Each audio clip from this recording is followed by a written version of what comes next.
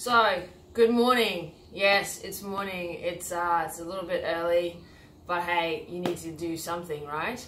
And it's interesting. I'm actually sitting here with all my gear on, ready to go to the gym, which coincidentally is my home gym, right here with a boxing bag and stuff like that. And that's all good and well.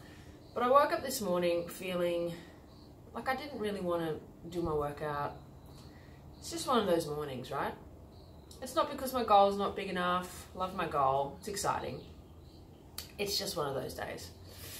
So I thought I'd share with you, because I actually was asked about this not so long ago. What is it that you do when you're just having one of those days where you're just not feeling it, you're not excited, you're not jumping out of your bed straight away immediately, and it all just seems to go a bit slow?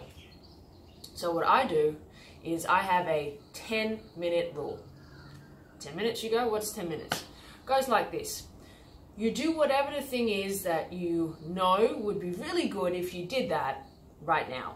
Even if you don't feel like doing it, you do it for 10 minutes. Now the rule is you do it for 10 minutes and if after 10 minutes you're like, oh, this is all right, I'll keep going.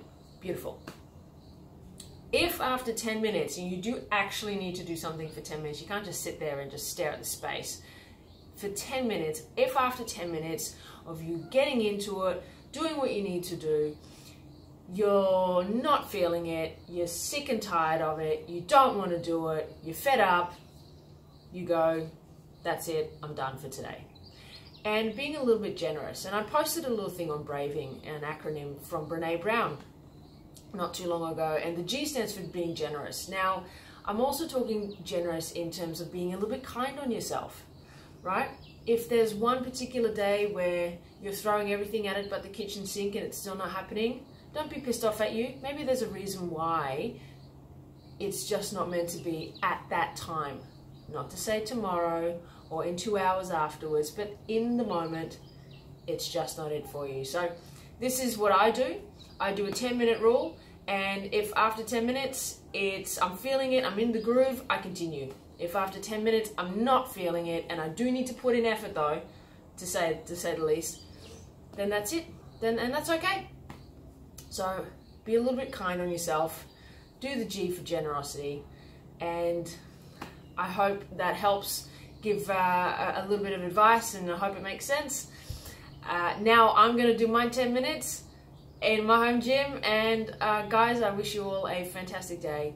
And it's uh, it's a real pleasure. Any questions that you have on other tips, advice, pointers, things that you'd like, please send them in to me because it gives me ideas on and, and lets me know what exactly it is that you want to hear and what you're after. So thanks guys, have a fantastic day and catch you all soon.